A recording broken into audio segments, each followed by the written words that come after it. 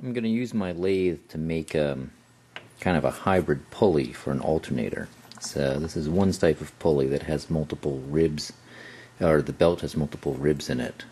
Um, that's steel, and this one is also steel, and this one is made just for a V-belt.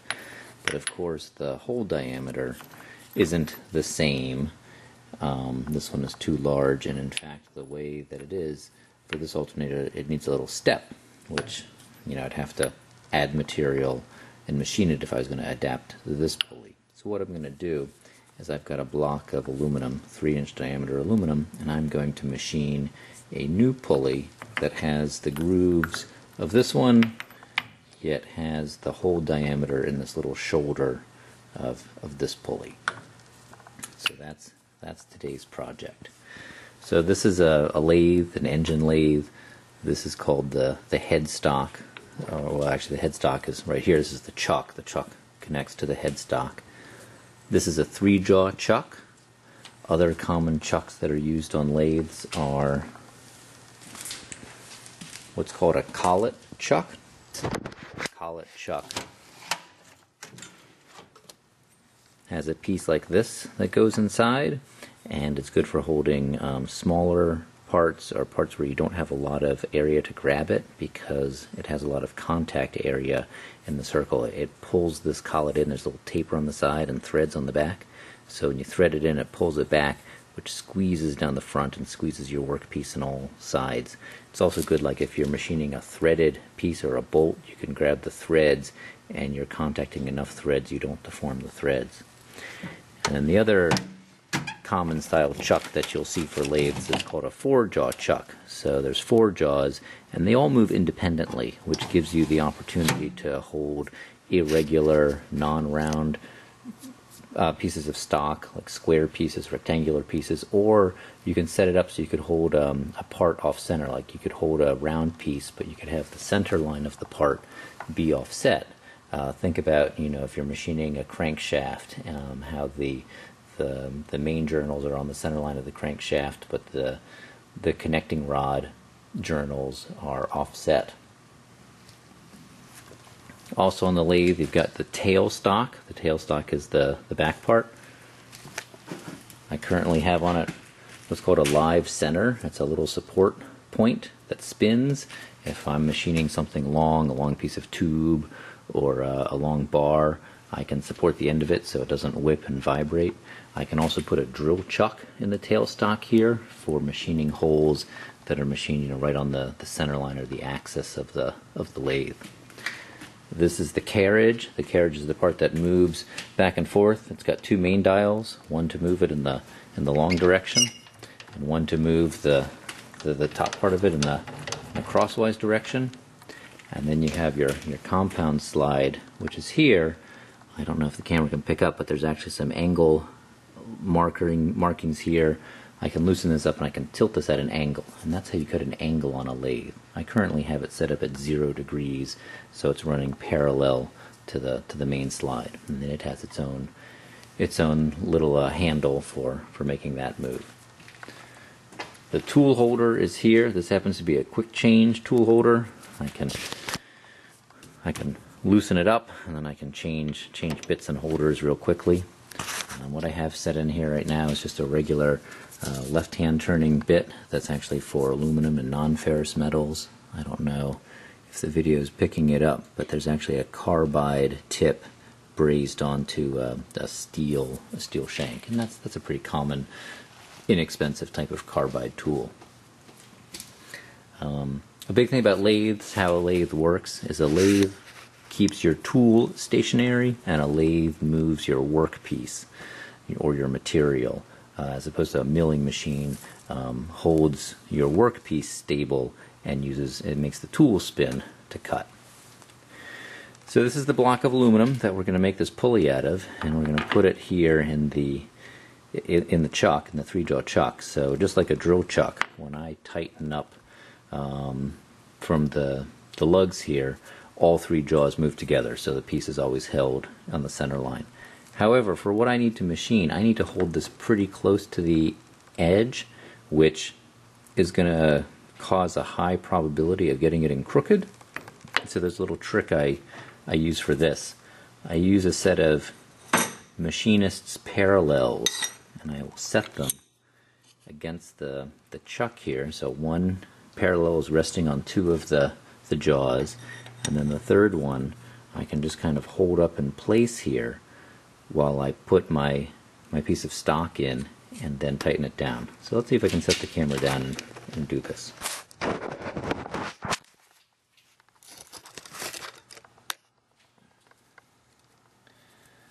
So I put my piece of stock in and I can kind of press and hold it against the parallels and then we can tighten the jaws down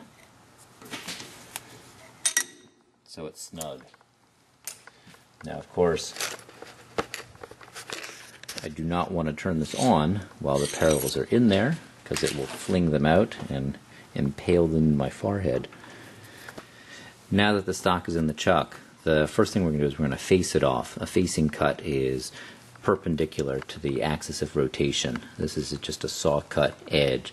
So I've got my tool bit in here just a little bit at an angle so that it will clear so as it moves inward this will this will clear and I'm going to, to machine it off. Now, I have this set up pretty well. We'll double check it. But you see this screw point, this uh, threaded kind of collar nut on the tool post?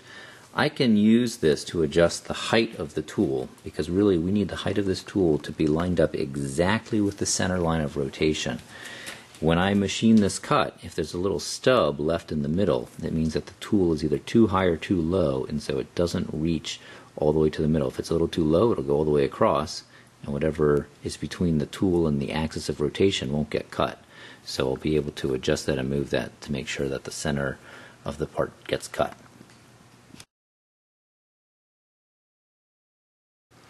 My cut went all the way to the center of the piece, so I've got the height of the tool set correctly. The next thing we're going to do is we're going to start turning a strip of the outside down to the diameter. So again, we're we're going to be making this pulley kind of in, in this direction. I try to do as many operations per setup as possible because once you start machining, you're creating a part that is completely cylindrical around the axis of rotation. But as soon as you unchuck it or you, you take it out of the chuck and you try to remount it, there's you can get it closed, but it's not going to be as concentric as it was when it started. It's always going to have some little variations or you know be a little bit different. Um, so to make the best quality part, you want to do as many operations as you can. So we're going to work on making this stub here. So there's a few things I'm going to do. I'm going to first figure out this depth from this surface to this surface, and then you know figure that out here, and then also this diameter. And I'm going to use a caliper to figure that out, but I'm also going to use the, the tool bit to kind of touch it in place to, to make a little score line so that we can so that I can visually see where those spots are.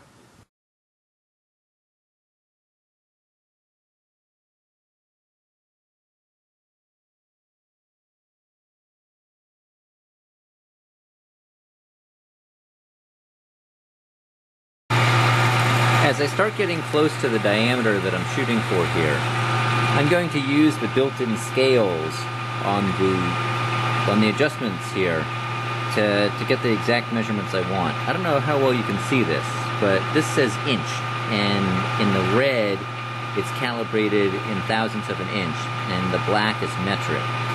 So I'm going to turn this so that zero lines right up with the inch mark right about there. And now I'm going to take my next cut, turning this on the compound rest.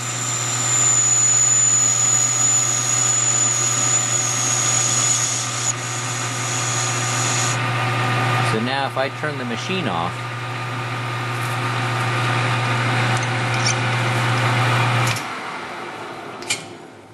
I can measure this with the calipers.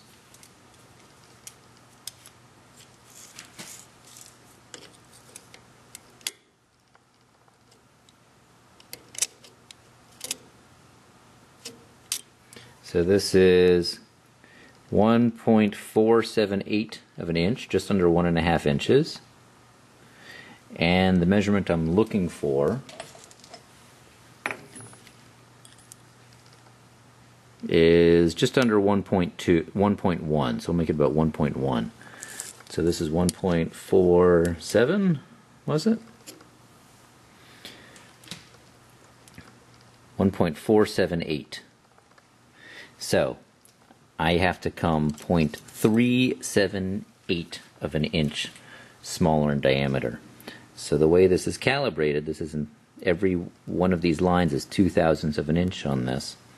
So one full revolution of the dial is 0.2. So I can come in one full revolution will be 0.2 of an inch. Then I will come half a revolution, which will make it 0.3 of an inch. And then I'll be able to use the scale and come in another 78 thousandths. And then it should be right on the money. So let's try that out.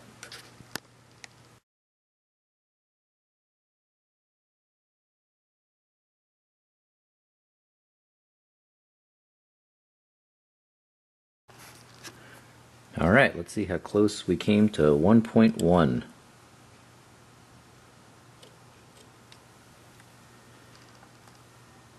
One point zero nine six, four thousandths under. That's close enough for me.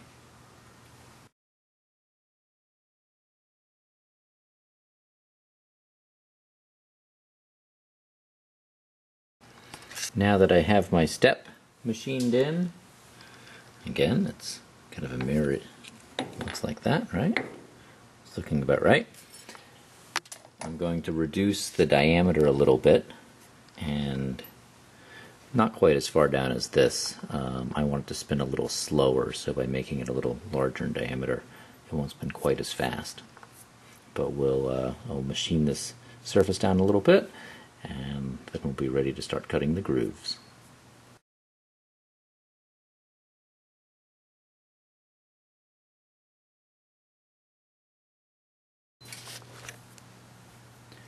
So now I have a tool bit that is the right V shape to cut the grooves on for this pulley. So I'm going to figure out, so again we're making the pulley in this direction, so I'm going to figure out what the distance is from this surface to that first inside groove and then I'm going to start figuring out how to make this. And again this is where my little increment scale will come in very handy because I'll be able to dial it to the, the next increment and make a cut, next increment and make a cut.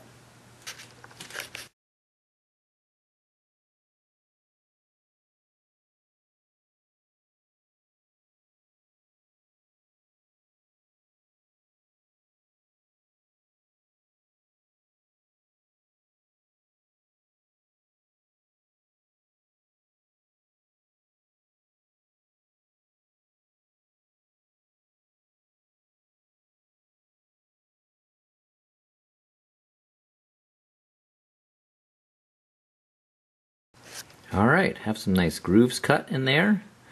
And the next step will be to bore a hole in the end, the right size for the shaft. Now it's time to bore the hole in the center of my pulley. I'm going to do that in a few steps. What I have in the drill chuck right now is called a center drill. It's kind of short and stubby, um, and it starts with a small point. So its advantage is it doesn't wander when it starts drilling. So it'll it'll start drilling right in the very center. And then I'm going to step up two different drill sizes. So then I'll go to this one, which is, I don't know, a little more than a quarter inch. This one about 3 eighths, and this one which is a little bigger than half. And that will get me pretty close to the size. And then I'll, I will use a little boring bar to actually bore the hole to the exact diameter.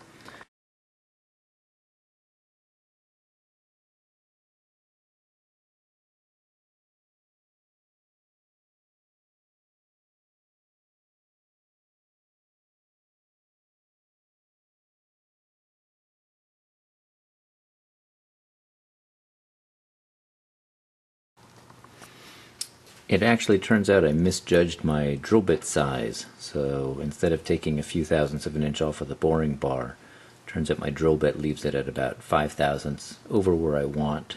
But um, I'm going to be able to live with that. It's still going to be close enough within tolerance to, to work just fine. So the next step we're going to do is to separate the main part of the pulley from the rest of the material and then uh, we'll be able to machine it from the back side we'll be able to hold it here and machine the backside. So this next step uses what's called a parting tool. A parting tool is a thin little metal blade like this that I will mount and I'll feed it in and it'll it'll separate the, the part.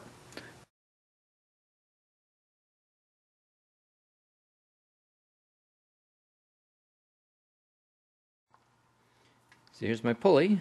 It's got the hole through the center. It's got a little shoulder on this side, just like the original one has. It's got the, the ribs, or the grooves for the ribbed belt, just like this one has. And the only thing left to do is now that it's parted, I'll be able to hold it in the chuck on this side, and I will be able to machine this little pocket, this little recess on this. But that that will happen another day.